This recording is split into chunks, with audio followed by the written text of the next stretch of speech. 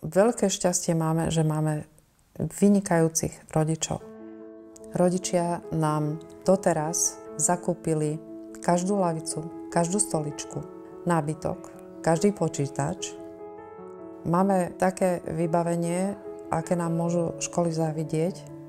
Na Podjavorinskej máme počítačovú učebňu, sú to prepojené dve triedy, v ktorej je 25 počítačov pre deti v budove na Palisádach máme dve prepojené učebne tiež s 30 počítačmi pre deti.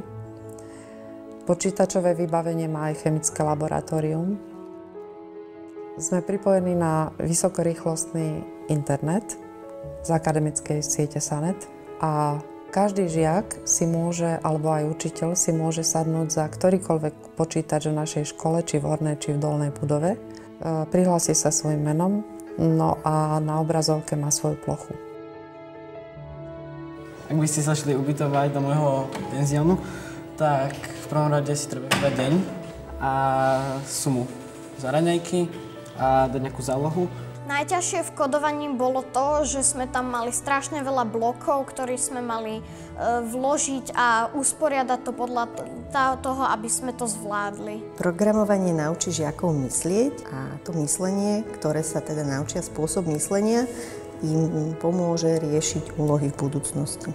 Je veľmi dôležité, aby žiaci porozumeli zadaniu, vedeli samostatne myslieť a zvládnuť a vyriešiť situácie od tých najjednoduchších až po tie najzložitejšie.